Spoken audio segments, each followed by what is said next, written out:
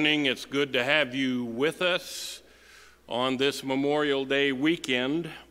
Uh, the um, communion table is decorated with uh, a flag and a ribbon to remember those who have died in the defense of our country.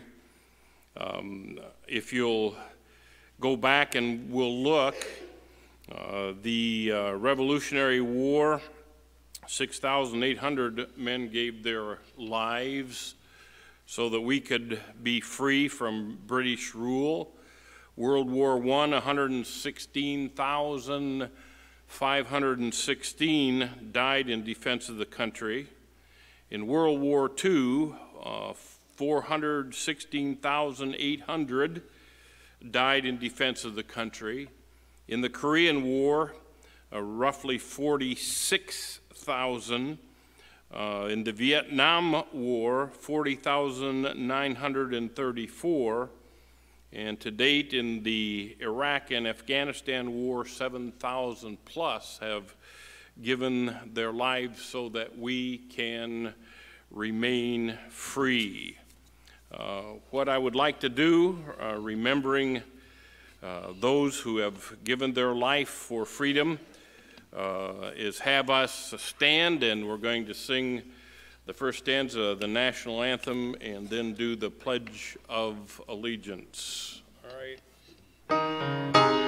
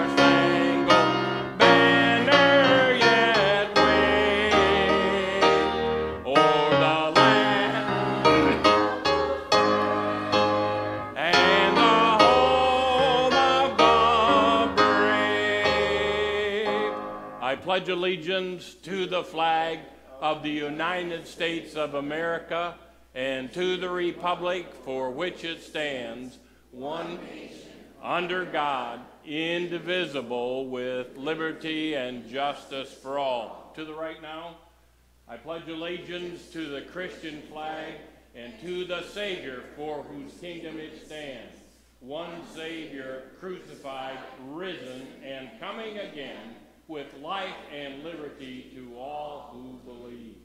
Thank you. You may be seated.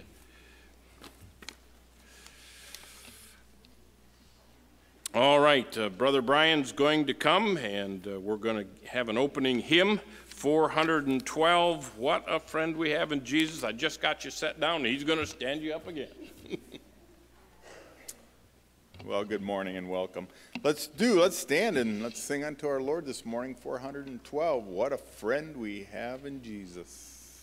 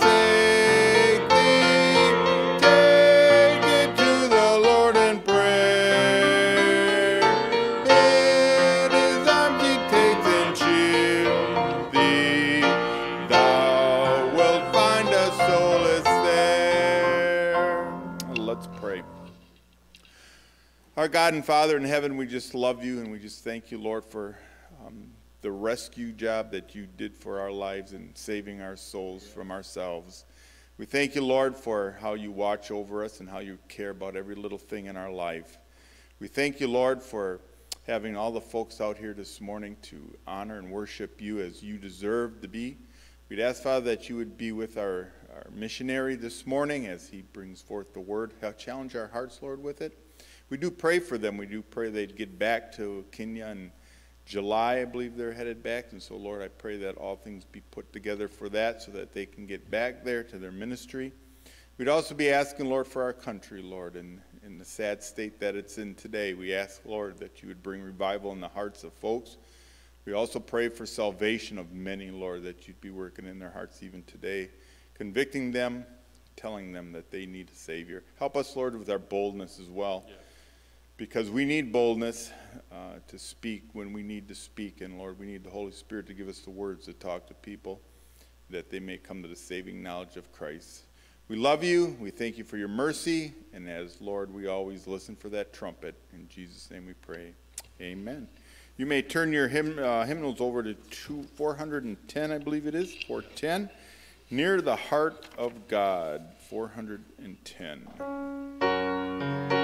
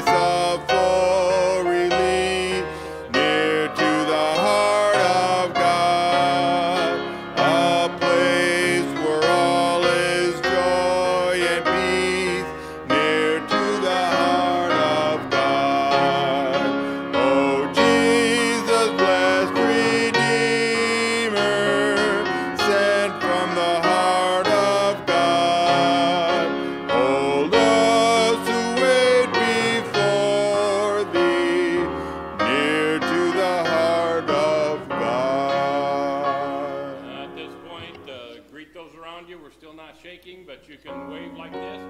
I'll shake on the way out, but if you don't want to shake my hand on the way out,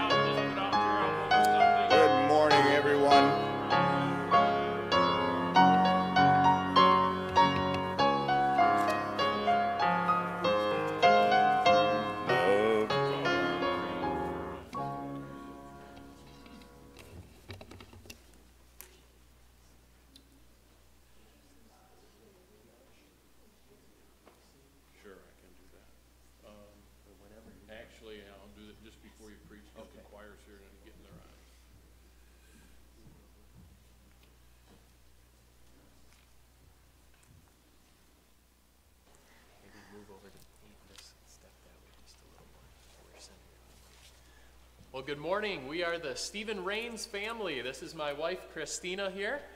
And uh, we have five wonderful children God has given to us.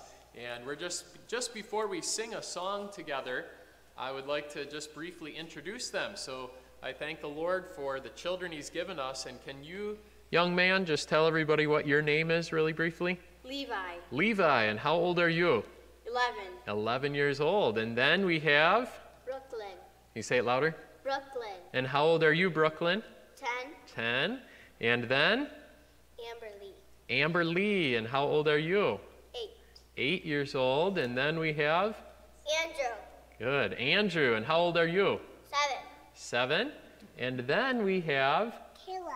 Kayla. And how old are you? Trying to get it on the fingers there. And that is three. All right. She's our little uh, baby born in Kenya. And so we thank the Lord for her and for each of these children God has given us. In Kenya, much of our ministry and church planning and Bible college is in English, but we are also attempting to learn Swahili. And so we're going to sing the song titled More Love to Thee, as that is really our heart's prayer to the Lord that we would have more love for Him each day. And then um, the middle verse we will sing in Swahili. Are you guys ready? Okay. More love to thee,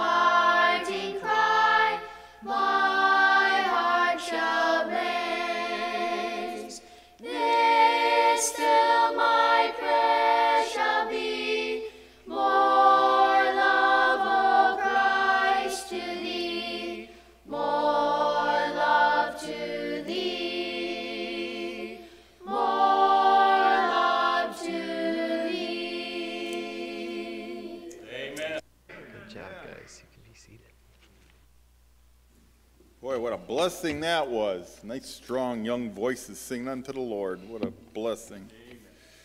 All right, and you got in the back there, we got a new track, Ready to Die. Take one of those and hand it out this week.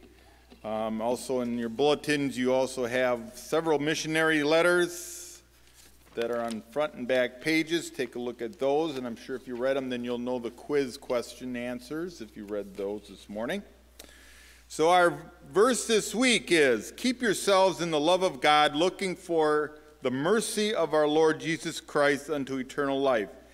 And of some have compassion, making a difference, and others save with fear, pulling them out of the fire, hating even the garment spotted by the flesh. Now unto him that is able to keep you from falling, and to present you faultless before the presence of his glory with exceeding joy, to the only wise God our Savior, be glory and majesty, dominion and power, both now and forever. Amen. Who can tell me that verse? I- Alice. That is correct. Mason? Paul, that's right. Okay. All right, you got it right then. All right, and of course, you've seen the Rains. We have the Rains here this morning, and their ministry sharing with us that. Uh, tonight at 6 p.m. 15 business meeting, uh, special business meeting will be called to discuss the option of a special offering for helping with a van for a missionary work. Thursday, 6:30 is tell door-to-door visitation has started in the neighborhoods. Please be praying as teams go out with packets and scripture and information about First Baptist Church. Our goal is to reach souls for Christ. June 19th, 10 a.m. is a Ride for Fun. If you plan on riding, please sign up. And the June 22nd, 7 p.m. Ladies 3M's Missionary Meeting. The 26th, 8.30 a.m. is Men's Prayer Breakfast. June 27th, Sunday School and Morning Service. We'll have uh, Brother Tim Carpenter from Bearing Precious Seed Oshkosh will be sharing with us. And June 29th, Deacons Meeting at 7. July 26th through the 30th is our evening vacation Bible school. And our missionary quiz this week is In what country are the Johnsons serving? Cambodia. Cambodia is correct. What is the most recent medical work Dr. Johnson is involved with? writing the COVID-19 protocols for Cambodia. Writing the COVID 19 protocol for Cambodia.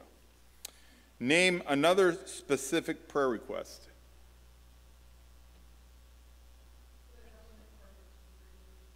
Their government visa to be renewed? They have a permit that they have to get to to practice Oh, medicine and stuff. all right. Who is the director of our conversion center? Pastor Mark Reno. What? But, oh no, what, what what is being sent to uh, Guatemala, Mexico, Venezuela, and from the from the conversion center? Five hundred thousand tracks. True or false? Alpha Women's Center's mission is to save souls for Christ and save babies from abortion. That is true. Name two workers there with health issues we can pray for. Holly and Sue, definitely Holly and Sue. All right, so let's go to hymn number 403, Near the Cross.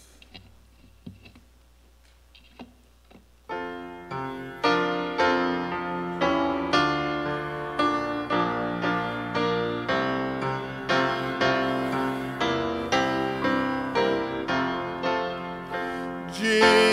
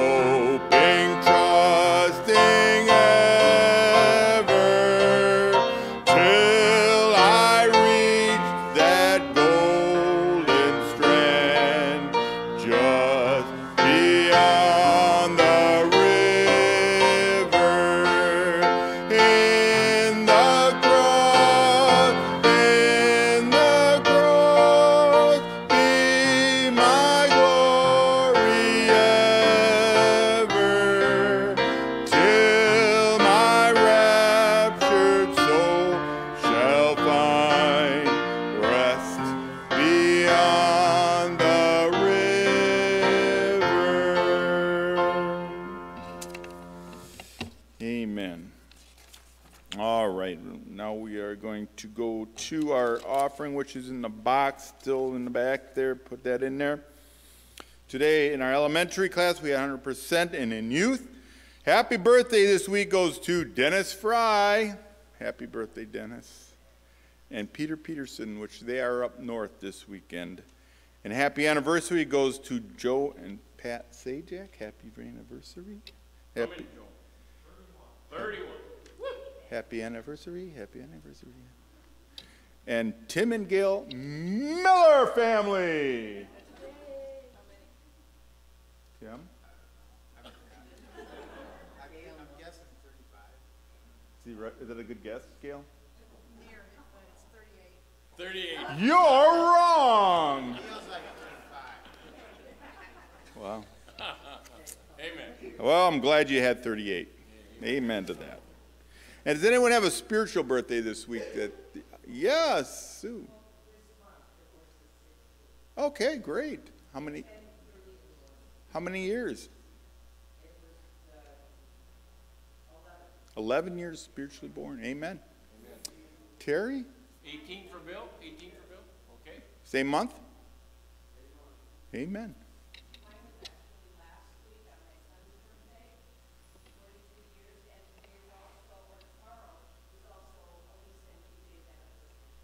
Oh, okay, we missed that one. So happy birthday to them. Well, happy spiritually birthday to you folks. It's great to have one of those, isn't it?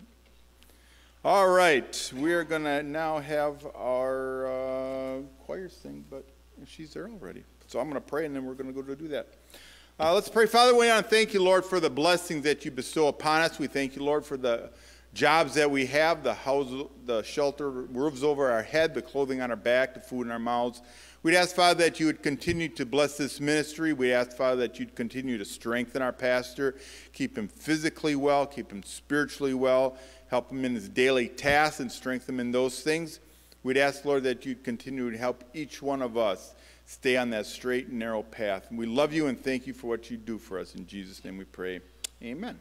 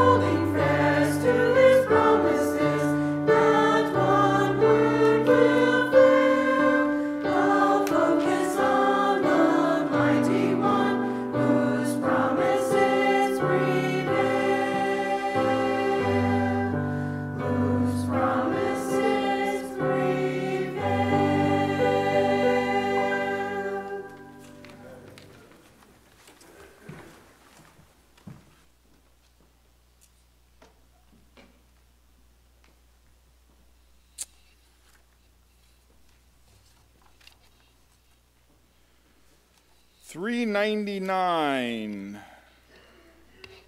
Let's all stand. 399.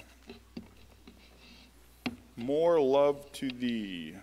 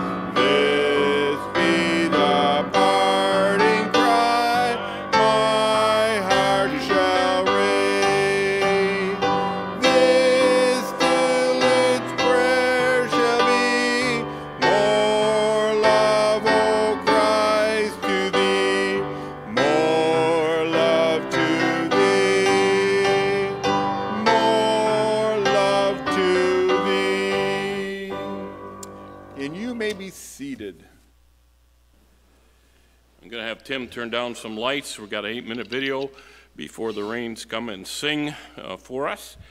But uh, I have a granddaughter, Hannah Lee Bolder, who is graduating, and you are invited to the open house Saturday, the 5th of uh, June. That would be this week. Uh, 3 o'clock till 7. You can come and go as you like. Uh, it's uh, 3550 East Fitzsimmons uh, in Sun Pump City or Oak Creek otherwise. And if you need directions, you can see me or you could see Sarah, you could see Hannah. It's not far from here. It's at the Bolander Farm. So uh, if you're coming, please sign up. Also, uh, I'd encourage a few more of you to ride. We have the second ride for fun. We just had a small handful the last time. I'd like to get six of us riding. If you'd sign up, uh, we bring some goodies and that sort of things. Um, but um, please uh, sign up, get your bike out tested ahead of time so I can know whether we have enough to have the ride or not. So I'm going to scoot out of the way and um, turn a couple more, I don't know whether you can turn the spots off or not. And then we're going to get uh, this doing and ask Brother Rains to come on up and uh, sit here and uh, uh, you can bring your wife up in a second.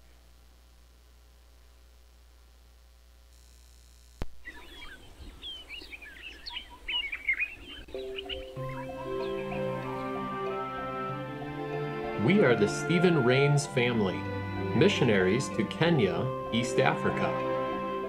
We arrived for our first term in Kenya in the fall of 2017. We praise God for His physical provisions during the first few months of settling into a new country and home. We like to tell people God dropped us into the Garden of Eden with fresh papayas, mangoes, bananas, avocados, and macadamia nuts on our property. God has truly blessed above what we could have asked or thought. In less than three months after arriving in Kenya, God blessed us with our little Kayla. She has had several health issues over the past few years for which many of you have prayed, and thankfully, God has brought her through. Over the past few years in Kenya, God has allowed us to assist the Michael Rains family in planting Lighthouse Baptist Church in the town of Thika, which is near the capital city of Nairobi. Stephen shared some of the preaching responsibility, as well as being involved in the music ministry and leading the new members class. It has been exciting to see God save souls and grow people to the point of becoming baptized, active members of this local church. But still, I didn't find the answers that I really quite wanted. It was like I wasn't in peace. It was like there was some emptiness within me. Even though that the next religion I will try will be Muslim or Buddhism, seeing that I will find answers. But I really didn't find the answers that I was looking for. It's when one Saturday I had a knock at my door, and it was this. It was a missionary, um, um, a young guy named Stephen. He was giving me a, a gospel tract and making sure and asking me if I was really 100% sure if I will go to heaven when I die.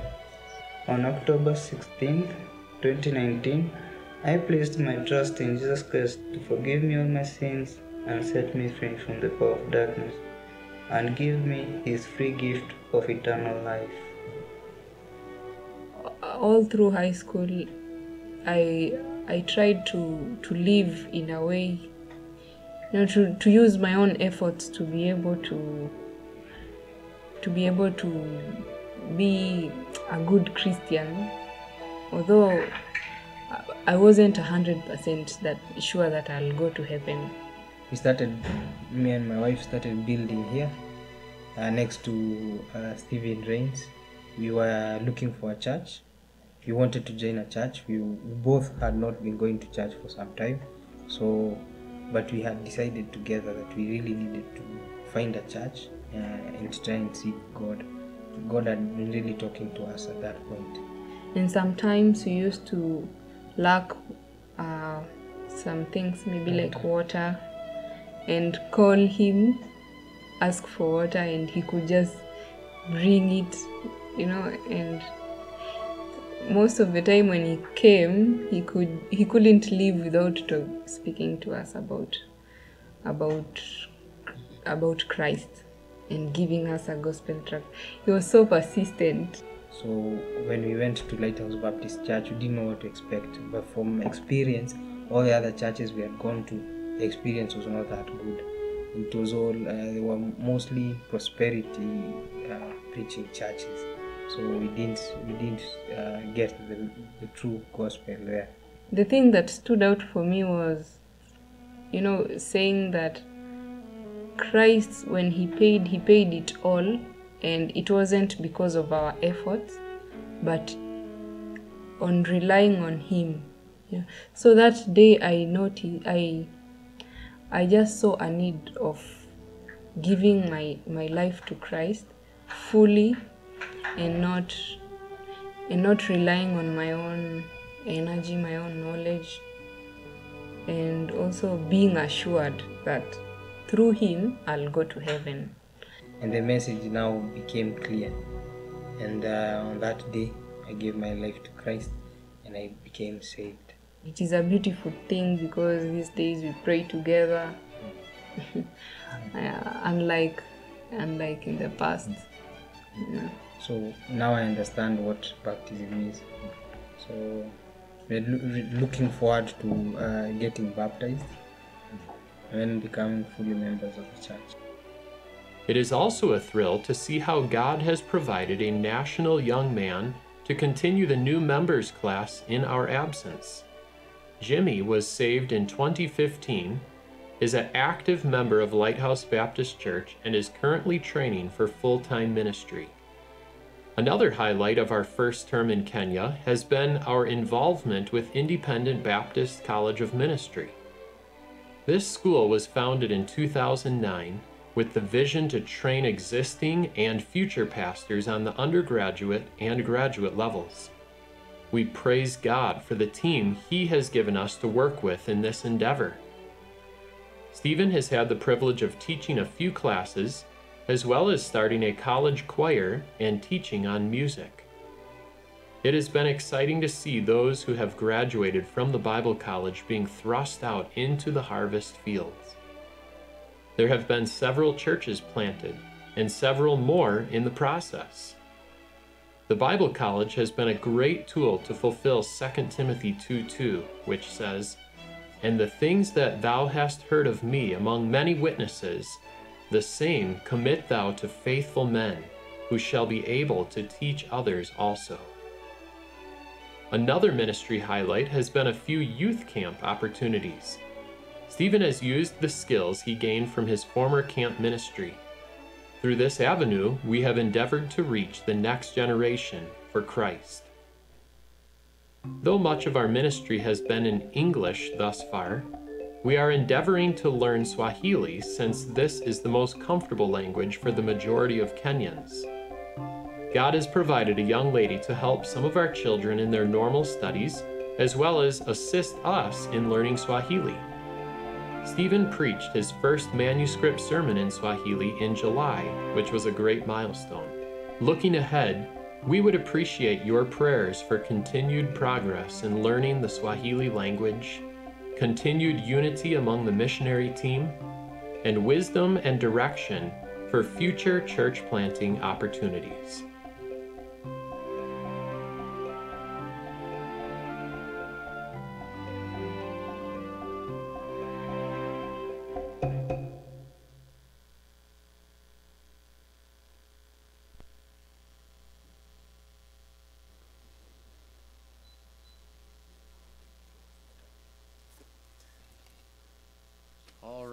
Sure thank the Lord for your part in the ministry that God has allowed us to have there in Kenya. I'll say a little bit more about that video in just a moment.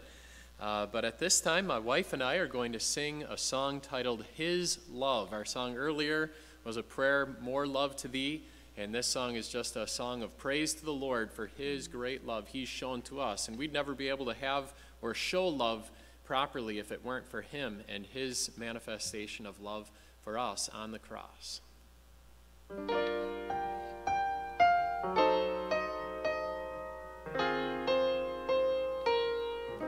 God's love reached out to me one day on Calvary when I was lost in sin and shame. He pardoned all my sin,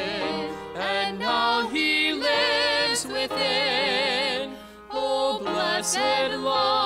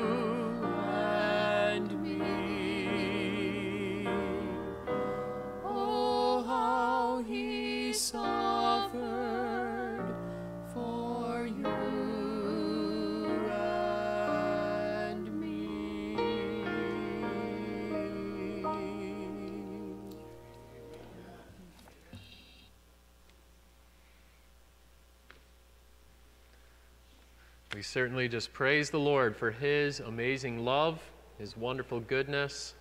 Thank you for uh, playing the piano for us there this morning. We appreciate that. And that piano ministry. Some of the places we go, we don't have a pianist that plays along with us. So that's always a real blessing to have a church, go to a church where we have uh, some good musicians. Appreciate, I really appreciate all that God is doing here. And just so thankful for each one of you and those of you watching.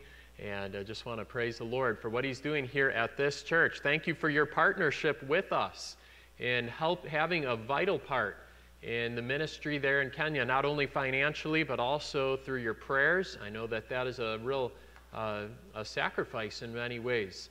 Uh, to be able to give sacrificially, financially, be able to give of your time and your effort to take time to pray. And as I mentioned in Sunday school this morning, just a little helpful reminder uh, for remembering to pray for us. I often tell people that when it rains, pray for the rains. Okay, so uh, I know it's kind of just, we all need little reminders, don't we? And things that help trigger certain things. And so next time you feel those raindrops falling, just let that be a reminder. But hey, if there's a drought, keep on praying for us, okay?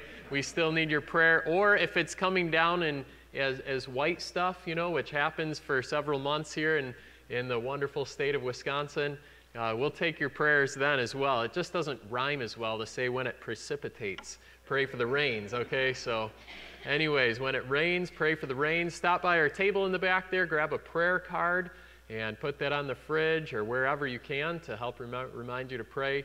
And feel free to sign up for the email updates. We really appreciate uh, being able to send those updates out and know that God's people are reading those and praying. And I know when you support a lot of missionaries, that can be a lot of time and effort to read through those. We try to keep them short and sweet and concise, and we try to include some pictures in those email updates as well. The, just uh, they say a picture is worth a thousand words, and so that way we don't. We, it saves us a couple thousand words in our email update if we just stick a couple pictures in there. And so no, we try to list out some specific prayer requests and praises as well and keep you connected. We know that the more connected God's people are with what is happening there in the work in Kenya, the more interested and connected they'll feel and more, uh, more desirous to pray. And so we certainly covet your prayers. So the video that we just showed, um, we, uh, I just wanted to mention a couple of things. You saw in that video um, some of the ministry opportunities that we have had with the Bible College uh, with training the people of Kenya, trying to help them uh, to catch that burden and be encouraged in their study of the Word of God, in their ministry uh, toward the Lord for His work there in Kenya, to see more laborers raised up right in the country of Kenya and going out. And also just a, it's a, that bible college provides some great opportunity for graduates to stay connected and to be encouraged we all need that fellowship that encouragement with other believers in Christ, other laborers in the gospel.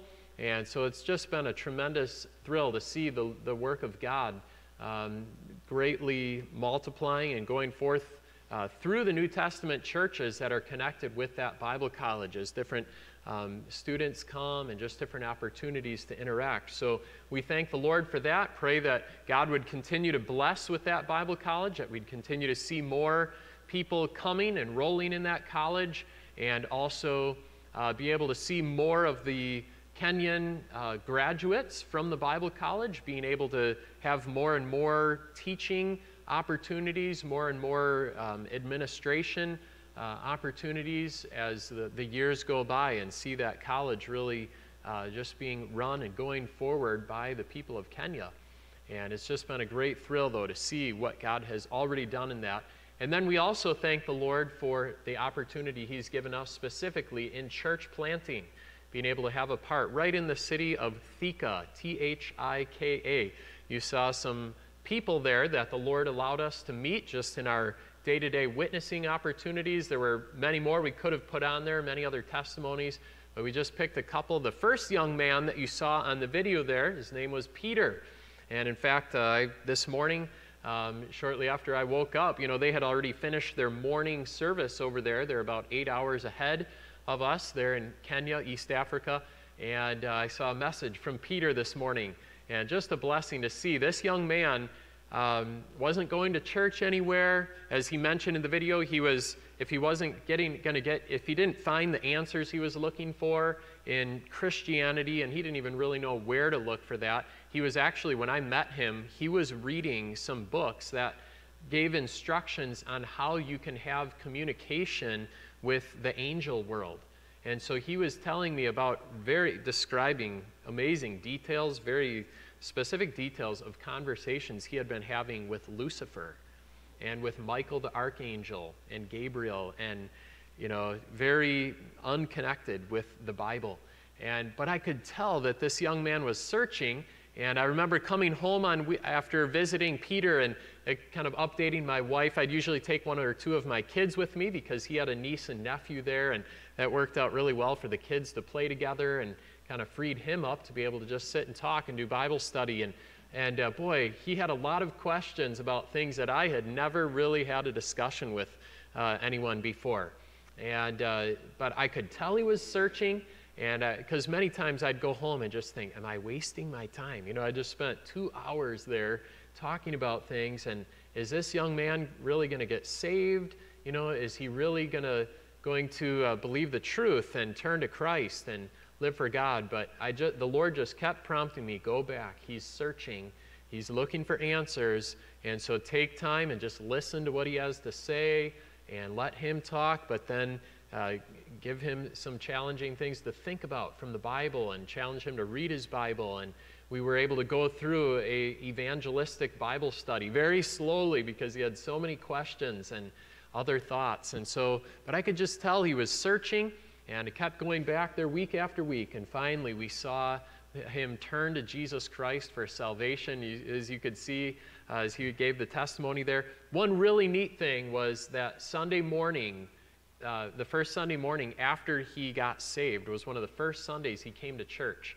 And without anybody prompting him, he stood right up during a testimony time and told the church, told the people there, how he had put his trust in Christ for salvation that week. And it was just a thrill to see the Lord bring him from a lot of confusion and darkness into clear understanding of his sin and the condemnation, who Jesus Christ is, and uh, how he had died and risen for him, and was offering that free gift of eternal life for him to receive by faith and he put his trust in Christ. It was just a miracle. So I, I, give some of those details. There's so much more, so many other people we could talk about, but I just want you to realize some specific uh, details and feel that connection with some of these people that um, you have been praying for, and maybe it, it kind of just seems like a name on a paper, on an email update, you know? And, but really, there are um, souls behind those names in whom God is ready to save. The fields are white unto harvest. And the other um, couple that you saw there was Tony and Laura. When we moved into the house that we live in over there, uh, just outside of Thika, uh, where we have Lighthouse Baptist Church getting started, um, there was an empty plot to the east side of us. Just kind of a lot of weeds. Sometimes people would plant a crop in there. We're right on a river there, and um, one day, some workers came and started clearing the area, clearing the property, and building a house. And so we went over there and met some of them. And eventually, we met Tony and Laura, and we were able to reach out to them. We just thought, hey, maybe these people are looking for a church. And sure enough, they hadn't really been going to church anywhere. Laura grew up as a Seventh day Adventist. And so had a and didn't really go to church a whole lot, but in that home and community, a lot of people were uh, Seventh Day Adventists, kind of out by Lake Victoria, there in Kenya. But she had moved to the area, and and uh, Tony had grown up in that community, uh, but grew up going to a Pentecostal church and had just quit going to church as a teenager. Just didn't really feel the need for it. And uh, so, anyways, we met them. We were able to, as I mentioned, you know, help them with some things. They didn't have water hooked up or electricity at their house, and so we were able to help them out with um, getting water uh, for drinking uh, in the first uh, few weeks they were there, or getting getting the house ready, and also electricity. That was kind of interesting. I told them they could plug in at uh, the outlets at our house if they needed. So they, uh, we have a cement wall. It's very common to have a cement wall around your property there with razor wire or electric fencing on top of it. So I told them they could run the wire over the wall. So I'm waiting for it, and here comes these two um, wires, you know, just like you run in through the piping, through the conduit, you know, in a building. And I just thought, okay, you know, I don't, not quite sure how to plug that one in, but they came over and uh, an electrician, you know, clipped the insulation off the ends of the wires and stuck them into my outlet. And I heard a saw running over on the other side of the wall, so I figured that must work for them. You know, you don't just typically get those kind of cords when you go to uh, Menards or Home Depot for your electric, um, your uh, extension cords, you know. And I just wasn't quite used to that. But anyways, there were no sparks or anything, and and it ended up being something that God really used. That you know, just the simple things, the electricity, the water. We'd take some bananas over there, you know, and just try to reach out to them, befriend them, and invited them to come to church. Gave them go- the gospel and gospel tracts, and and the Lord really used that to work in their hearts and realize, wow, these people do really love us, and they just had never really experienced that before, um, especially from foreigners in the country. And so, anyways, we just praise God for how He works and the opportunities that He brings. And we're looking forward to more. We're, like I said, we're planning to go back to Kenya at the end of July and uh, jump back in the, the work over there. We're praying about a couple of other um, possible church plant ministry opportunities in this next term and just really seeking the Lord to make that clear to us when we get back there. And so we would really covet your prayers for that, planning to do some a little bit more uh, intensive Swahili studies. We've been continuing that while we're here in the States, a little bit each day. Uh, but just looking forward to getting back there and jumping into the college ministry and church planting um, opportunities there and just seeing what God will do. So, thank you again for your part. And I just encourage you, maybe you don't really have a regular daily or weekly practice of, you know, making time to pray for missionaries, the different missionaries supported by this church. I encourage you to do that. When we get to heaven as Christians one day, I think we're going to look back and wish we had spent a lot more of our time, a lot less time doing, you know, the leisure things of life and more time um, having invested it for that which really counts for eternity. And uh, so, anyways, it's not you're not going to be challenged through that through the commercials on TV and the billboards around the cities. Um, but because uh, that's not the, the, the, common broad way of life, all right? With God calls us to the narrow way and to live a life of faith and to follow His leading. And so I just really trust your, your heart is encouraged in prayer and giving toward missions and just seek, seeking the Lord, whatever He'd want you to do. Maybe God would even be calling you to a foreign field. You've been sensing God pricking your heart in that way. And just be ready uh, to go, do, ready to do whatever God wants you to do. I guarantee God's way is the best way. And whatever that is, crossing the street or crossing the ocean to give the gospel, and uh, just being an active part of a New Testament church like this one right here, being a saved, baptized, active member of this church. This is one of the greatest things going on in all of this community around here in the sight of God and for what counts for eternity. So I trust that you're, you're here, you're an active, uh, saved, baptized member of this local church and letting God work in your life through this wonderful um, work of God. Well, let's take our Bibles this morning and turn to the book of Judges. The book of Judges, I know that's not a typical missions uh, book that we would, we would typically go to for a missions theme, but there is a wonderful truth here found in Judges chapter 6 and 7 that the Lord just really has impressed on my heart and um, shown some wonderful truth in, in these two chapters that uh, can apply to our lives in regards to missions. And you'll see how that ties in. But I'd like us to look here in Judges chapter 6 this morning. You know, a lot of times we feel really insignificant. I don't know about you, but in our world today, you know, we hit, we encountered some major curveballs in life in 2020, didn't we?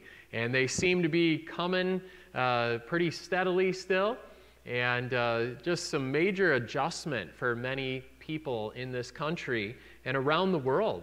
And you know, there's it's very natural for us to react to these things in fear and just kind of back into a corner and feel like, whoa, you know, all I can really do is just kind of hold on for dear life. You know, I don't know, oh man, you know, as you think about, uh, you know, actually being used of God to advance the gospel in 2021 and see churches growing and flourishing, you know, seeing the work of God go forward, see this nation experience a revival. So many people think, oh, you know, if I can just survive until the rapture. And boy, we kind of get our eyes off of the fact that, hey, there are millions of people around this world that if they were to die right now, they would go to hell. They're not ready for the Lord's return. They're not ready to die. And so we God God knows the future. He knew what was coming in 2020 and he's got it all planned out and let me tell you throughout you read this book from cover to cover and I trust that you have that goal to read through the Bible on a regular basis. I know it's a big book, there's a lot there, but have a plan to read through it every two years or every one year or more, whatever um, you could do and seek the Lord with that. But boy, when you read this book, you realize there were many times throughout the ages where God's people felt overwhelmed, felt discouraged, felt like, you know, wow, God has forsaken us. What can we do? Is God really still powerful? Is he where is he? And that's exactly what we find here in Judges chapter 6 with the example of Gideon. He felt very small, very insignificant, very helpless. And I think many Christians around the world are probably tempted to feel that way these days.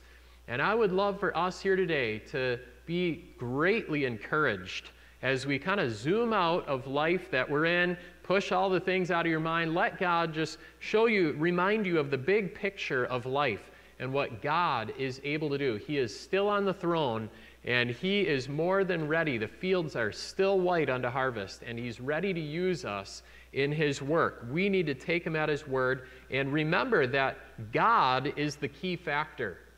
It's not about me and my religious performance and my amazing talents and just, you know, no, we've got to surrender all of that to the Lord and say, God, it is 100% you that empowers me to live the Christian life and to be used of God. You don't, you know, that we, in our human thinking, we try to get thinking, oh, well, you know, if I could just achieve this in life, in my Christian life, then I'd be more capable to be used of God. And, you know, the devil's always going to keep something in front of us to get us to think we've got to do this or do that, or if I only had that ability or that training, then I could really be used of God. And, you know, the list of excuses can go on and on. And Gideon did that same thing here. Look in Judges chapter 6, verse 11. Judges chapter 6, verse 11. And notice this wonderful truth this morning that little is much when God is in it. Verse 11. And there came an angel of the Lord and sat under an oak which was in Ophrah, that pertained unto Joash the Abiezrite. And his son Gideon threshed wheat by the winepress to hide it from the Midianites. And the angel of the Lord appeared unto him and said unto him, the Lord is with thee, thou mighty man of valor. Kind of interesting how he called him a mighty man of valor, and here he is hiding from the Midianites. He's a child of God, but boy, he's living in fear, down in the wine press, hiding, threshing the wheat, just trying to survive. Verse 13 And Gideon said unto him, and I could just hear the quiver in his voice here, Oh, my Lord, if the Lord be with us, why then is all this befallen us? And where be all his miracles which our fathers told us of, saying, Did not the Lord bring us up from Egypt? But now the Lord hath forsaken us and delivered us into the hands of the Midianites. And the Lord looked upon him and said, Go in this thy might, and thou shalt save Israel from the hand of the Midianites. Have not I commanded thee? And he said unto him, O my Lord, wherewith shall I save Israel? Behold, my family is poor in Manasseh, and I am the least in my father's house. And the Lord said unto him, Surely I will be with thee, and thou shalt smite the Midianites as one man. Let's pray. Lord, we look to you to work in our hearts during this time. God, use your word, we pray. Help us to have soft, tender hearts, not to be hard, not to allow ourselves to be distracted by other thoughts, but to focus on you and what you have for us in your living word this morning. Thank you, God, for your, the work of your Holy Spirit here this morning. In Jesus' name we pray. Amen. Notice some truths, simple truths here from this example of Gideon. Little is much when God is in it. Notice, first of all, little is much when we see ourselves as totally incapable. Here's Gideon. He was a believer. He was, you know, looking forward to the coming Messiah who would one day come and set them free. He had put his trust in that coming Messiah for salvation. So, salvation has always been by faith in Jesus Christ, graciously offered by God, received by faith.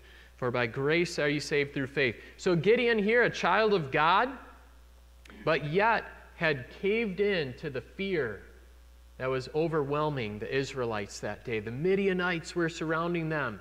Boy, these people had forgotten who God was. Gideon saw himself as very incapable of being used of God. I mean, I'm sure it, he was shocked when this angel appeared unto him and said, you know, called him a mighty man of valor and told him, Go and destroy the Midianites as one man. You know, could you imagine that? You know, what if God told you something like that in 2021? I mean, it would just be, you'd really, you know, humanly speaking, there's just no way possible.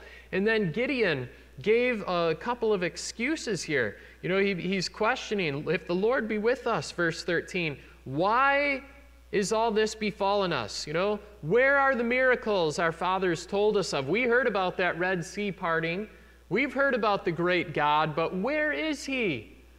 The enemies of God have surrounded us. They are overwhelming us. We are in fear and trembling. Almost kind of sounds like 2020 and 21, doesn't it? You know, the Christians are like, oh, where is God? Has He forsaken us? Does He remember we're still here? Yes. He knows exactly what is going on. And He is waiting for us to stop giving excuses for why we can't follow His commands in 2021. But look here in verse 13, you know, uh, the end of that verse there. But now the Lord hath forsaken us and delivered us into the hand of the Midianites. And then um, Gideon also in verse 15 says, O my Lord, wherewith shall I save Israel? Behold, my family is poor in Manasseh, and I am the least in my father's house. You know, he's just giving these excuses. We, we don't see the hand of God anywhere. My family and the community, we're one of the poorest families. Me personally, I'm one of the least of the people in this in our family. God, how can you use me? Wow. That seems kind of encouraging to me. Do any of you ever feel t- totally incapable of God doing anything great in and through you in this world, in this community? We all feel that at times. We all feel helpless and needy. Little is much when we see ourselves as totally incapable. You know what? That is a good thing. If we're, if we're feeling like we're so confident in ourselves and, boy, God can really use me, we're just immediately shutting down the, the avenue through which God could work. God resists the proud, but he gives grace to the humble. And God saw Gideon was humble, feeling totally incapable, and God thought, okay, there's a child of God. And I believe that if I give him the, these commands, I tell him what to do, I can see in his heart that he will respond. And uh, I'm going to I'm going to give him something special to do here. But Gideon, of course, saw himself as very incapable. Notice, secondly, little as much when we are willing to take God at His word. When we are willing to take God at His word. Now, that's what Gideon had to do here. Okay, he threw out all the excuses. We're totally surrounded by the Midianites. God has forsaken us. All these excuses. But God reminded him of some powerful reality. Look at verse 14. The Lord said, uh, and the Lord looked upon him and said, Go in this thy might. Wow, what, is, what might is he talking about? and thou shalt save Israel from the hand of the Midianites. Here it is Have not I sent thee? And then in verse 16, and the Lord said unto him, Surely I will be with thee, and thou shalt smite the Midianites as one man. What was the key factor here? The word of the Lord. I have spoken, God says. I am commanding you. I am telling you to do this. And therefore, it's going to happen if you obey. If you respond to my word, I will do this. Does God's word ever fail? Never. We fail, don't we? We fail to respond and say, Oh Lord, you have said this. You have given me this great commission to go into all the world and give the gospel to every creature. You've commanded me to teach all nations. And what is the wonderful promise at the end of the Great Commission? I'm sure you've read it before in Matthew chapter 28. Jesus concludes the command with a very similar command and promise that he gave to Gideon. He says, And lo, I am with you always, even unto the end of the world. Wow, same promise. I'm with you. Go and do it and remember, I am with you. God, God who can speak one word and create the world. He can speak a word and create billions of suns in this galaxy. What power! He is with me. He is the one that enables me to go across the street to give the gospel. I feel so incapable many times. I feel so weak and helpless. But little is much when we see ourselves as totally incapable Little is much when we are willing to take God at His word. And praise God, Gideon was willing to do that. He felt totally helpless, but he, he, he listened to that phrase I am with you. I am with you. Notice, thirdly, little as much when we are more concerned about what God thinks than what people think. Boy, that's a big one for us. And Gideon uh, proved that in his life, he had to overcome these feelings of feeling totally incapable. He had to overcome the feelings and the thoughts and the fear of what will happen when I do what God tells me to do. One of the first things God told him to do was go and knock down the altar of Baal that his father owned and to cut down the grove of trees that surrounded that place of worship to Baal. Basically, expose, you know, get clean out and expose the wickedness that's going on. Wow. You know, we ought to be praying. You might feel like, oh, my little prayers can't do much for this country. Oh, we're so far gone. It's just going to get worse and worse. Well, you know what? The rapture has not happened yet. And there have been times throughout the ages where people feel like, wow, this, we must be at the end of the world. I mean, the rapture, even back in the early New Testament church, they thought that. The rapture is going to be happening really soon. You know, well, that ought to drive us to urgency. Has the rapture happened yet? No, it hasn't. Let's keep praying and believing God to transform this community. Let's keep praying and believing God to transform this country to stir up Christians to take the little me that feels so helpless and overwhelmed and see God do great and mighty things. See God encourage my heart to give the gospel. Look at verse 25 here and notice how um, little is much when we are more concerned about what God thinks than what people think. Verse 25 And it came to pass the same night that the Lord said unto him, Take thy father's young bullock, and even the second bullock of seven years old and throw down the altar of Baal that thy father hath, and cut down the grove that is by it, and build an altar unto the Lord thy God upon the top of this rock, in the ordered place, and take the second bullock, and offer a burnt sacrifice with the wood of the grove which thou shalt cut down. Then Gideon took ten men of his servants and did as the Lord had said unto him. Wow fearful, quivering Gideon hiding down in the winepress. But now he's responding to the word of the Lord. Praise God. And so it was because he feared his father's household and the men of the city that he could not do it by day, that he did it by night. And when the men of the city arose early in the morning, behold, the altar of Baal was cast down, and the grove was cut down that was by it. And the second bullock was offered upon the altar that was built. So look at that. Here, Gideon obeyed the commands of the Lord. And he remembered, God is with me. Don't be afraid of what people will think because God is with me. That ought to be a great encouragement to us in 2021.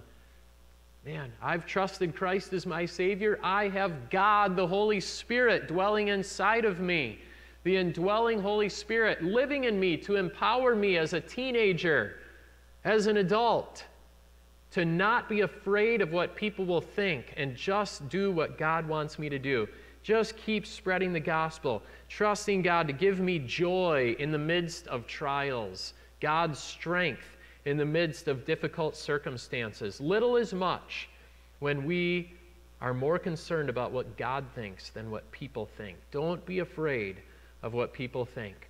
Notice next of all, little is much when we are not relying on human strength and numbers. Look in chapter 7, we're going to jump here uh, to chapter 7 and verse 1. Now, Gideon is ready to go and uh, defeat the Midianites like God had told him to. And of course, these Midianites, God, God is merciful. He had given them plenty of opportunity to turn to God. Okay? He doesn't, God does not delight. He, he's not willing that any should perish.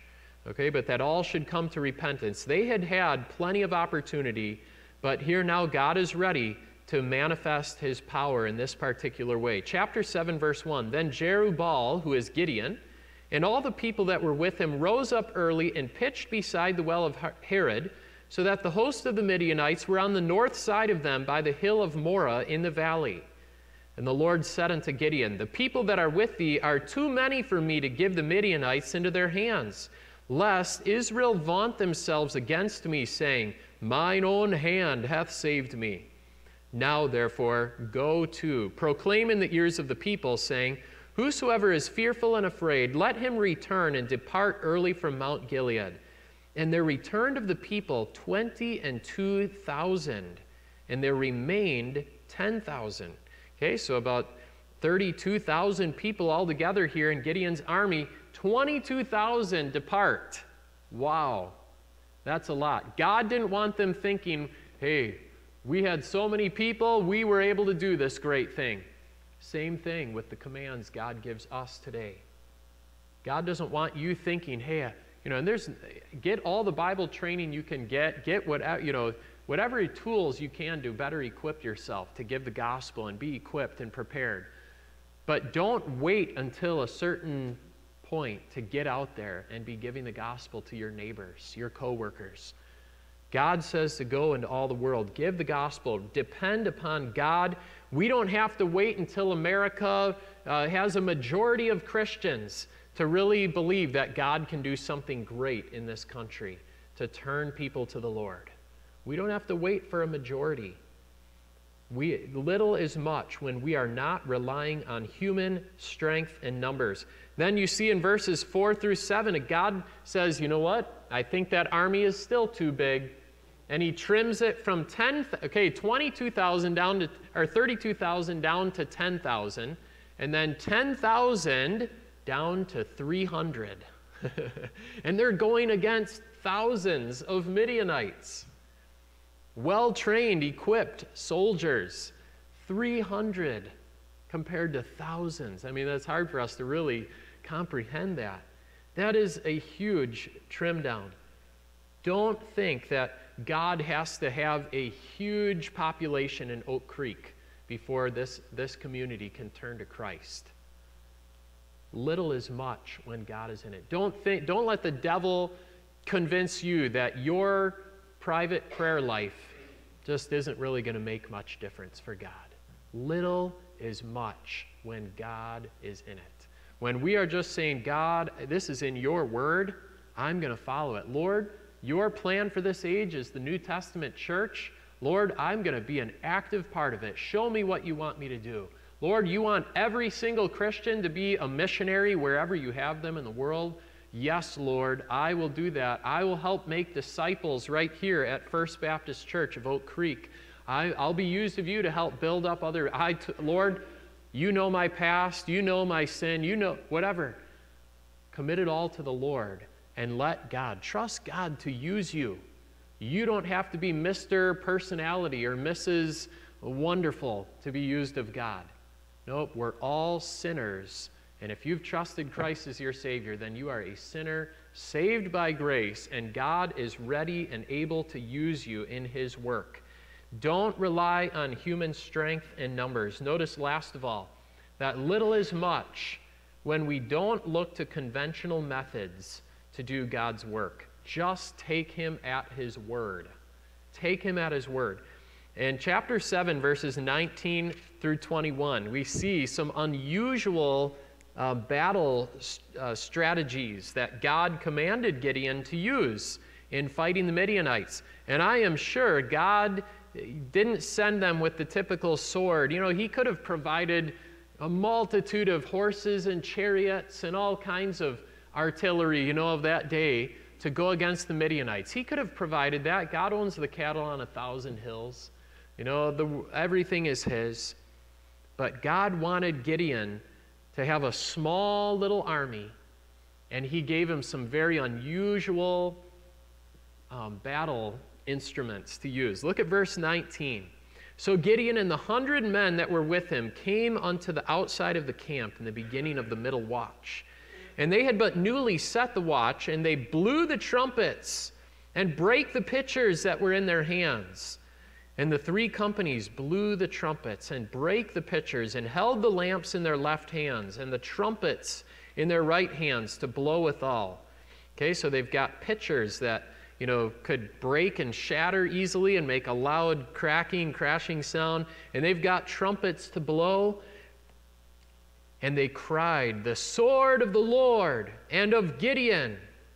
And they stood, every man in his place, round about the camp.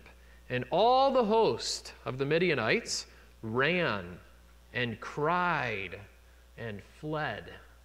Wouldn't you love to see that sight? Here's the little 300 men. Little is much when God is in it. When we are willing to get our eyes off of the circumstances, oh, the devil loves to get our attention. Oh, man, look at what's happening in our world today. The evil just are overwhelming us. Oh, if I can just survive until heaven. No, God wants you advancing the cause of Christ in 2021. He doesn't want you being a Christian hermit and just crawling into a cave and, you know, just eating food, just threshing your wheat in the wine press and hiding from the enemies and just hold. No, God wants, if you're saved, God wants you out there on the front lines for God. Why? Because your eyes are on the Almighty God who created all things, the Savior who came and conquered sin and death and rose from the grave. And your confidence and your eyes are on Him and the command that He gives to go, give the gospel everywhere you go. I will be with you, not just the missionaries, not just your pastor. That command was given to every single Christian from that period till 2021, till today, and on until the return of Christ. Where are your eyes today? Are your eyes focused on the amazing, great, almighty, eternal God who lives inside of you and says, I am with you? I'm with you. Or are your eyes focused on, oh, if you only knew about this problem right now, and oh, my finances over here, and oh, this relationship problem. Oh, if you only knew my neighbors, you would realize, well, there's no way I could give them the gospel. If you only knew my coworkers, my family members, oh, and we can sit and give excuses like Gideon did. Or we can say, hey, hmm, wow, look at God. Look at how great He is. He can do anything. Yes, God, if you want me to do that, okay. Wow, it seems humanly impossible. I don't know how it's going to happen, but God, you said to do it, I'll trust you. and I'll get out there and follow you. Yes, Lord, you are with me. Let's take that same wonderful promise that we find in Matthew 28, verses 18 through 20, to go. Go across the street. Be ready to go across the ocean if the Lord leads. But remember the promise I am with you, the creator of the billions of stars in our galaxy, the creator of the billions of people on this earth. Amazing, intelligent design, created in the image of God. God is with us. Are you willing to trust Him, or are you going to keep your focus on all the little things and how, oh, I'm so helpless? Oh, I can't do this. Are you fe- in fear and trembling today? How are you going to go through the week this week? In fear and trembling over circumstances, or by faith with your eyes fixed upon the Almighty everlasting God who is ready to use little you and little me? Let's about go to him in prayer. Father, we thank you so much for this example of Gideon and how, Lord, even though um, it wasn't related specifically to the Great Commission, Lord, we know that uh, you gave Gideon commands, and the great assuring promise was, I am with you. You've given us commands in 2021 to be vibrant witnesses for you, relying upon you, though, to do it relying upon you for your great power to build up First Baptist Church of Oak Creek, relying upon your power to help enable someone here today, maybe, who needs to take that step to believe in Jesus Christ for, for eternal forgiveness of sins and everlasting life in heaven and right here on earth with Christ, a relationship with God. Someone here today, maybe, who needs to take that step to say, Yes, Lord, you want me to be baptized and be a public, uh, have public identification with Jesus Christ, Lord, I'll do it. Lord, strengthen your people here today and work mightily to meet the needs of our hearts. Help every one of us here today to walk out of those doors 100% sure that we have sins forgiven and a home in heaven when we die based on you, your word, your promise to us. And Lord, help those of us who are saved to walk out of the doors here today encouraged. And those watching, Lord, to go from here um, totally encouraged that you are in full control. You are far greater than any circumstances of this life on earth.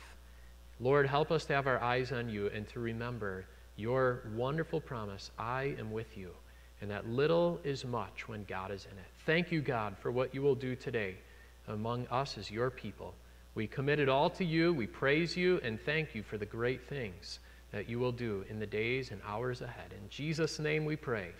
Amen.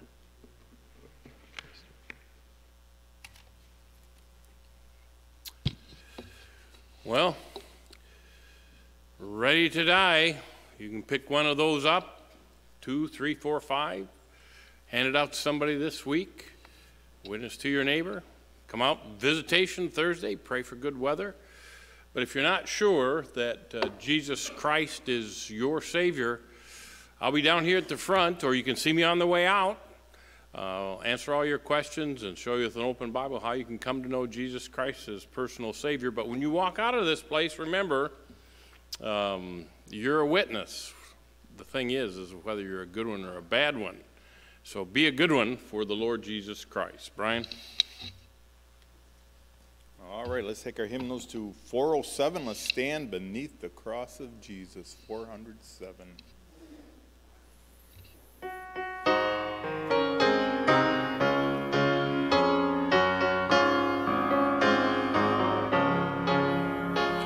beneath.